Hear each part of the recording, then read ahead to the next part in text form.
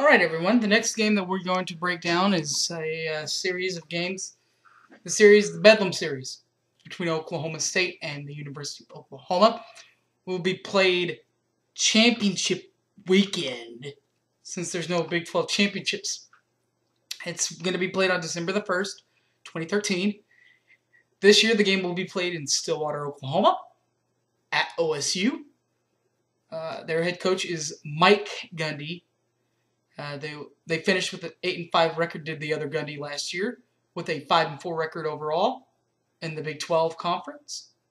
Eight and five overall, as I said, tied for third place in the Big 12. Last year they uh, lost a stunner. Uh, they lost a uh, uh, just a shell of a game to Purdue, 58 to 14 in the heart of Dallas Bowl which is played in the uh, Cotton Bowl where OU Texas play every year. That's the that's the bowl they now host, the uh, Heart of Dallas Bowl. Uh, the offensive player that will be missed on this team, Joseph Randle, 274 carries last year for 1,417 yards, 14 touchdowns, a long of 69 yards that came against their in their uh, stunning loss to Texas. That shouldn't have happened, by the way. Defensively for the other Gundy, Alex Elkins finished with 75 tackles last season, zero picks, zero forced fumbles, and one fumble recovery for the Cowboys.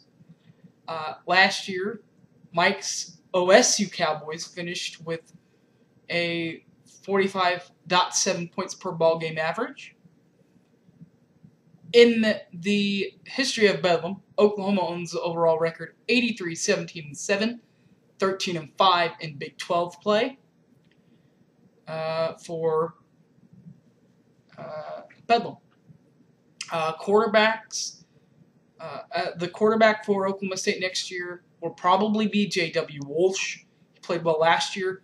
He finished with 1,564 uh, yards passing, 13 touchdowns, along with 74 in their, their revenge game over Iowa State in Stillwater.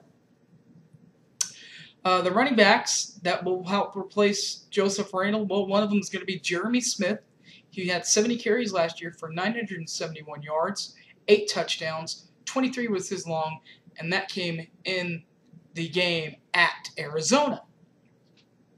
Uh, the other running back won't be a running back. It'll be the quarterback, J.W. Walsh. He had 50 carries last year for 290 yards, 7 touchdowns. His long of 50 came in that stunning loss to Texas. Uh, wide receivers, uh, J.W. Walsh is going to be throwing the ball to a couple of guys like, uh, well, how about Josh Stewart, who had 101 catches last year for 1,210 yards and seven touchdowns, including a 75 yard touchdown pass in Bedlam at Oklahoma. The other receiver on the other side will have to be Blake Johnson, who had 29 catches for 598 yards, three touchdowns, a long 58. And that one came against the University of Louisiana of Lafayette. Uh, defensively for Oklahoma State and the other Gundy, uh, Daytawion Lowe is going to be at the guy that they trust. He had 75 total tackles last year, two picks, one forced fumble, and one fumble recovery for Oklahoma State. And that's going to have to be their guy to pick it up off the defensively. Uh, they didn't have a lot of defense play last year. They scored a lot of points. So that's kind of their motto is to outscore you, kind of like Le- Le- what Leach did. And that's what Mike Gundy's going to try to do is outscore you. Uh, this has been the OSU OU Bedlam Breakdown. The game will once again be played on December the 1st, championship. And Uh, see you Sooner Nation, and as always, Boomer Sooner, everybody.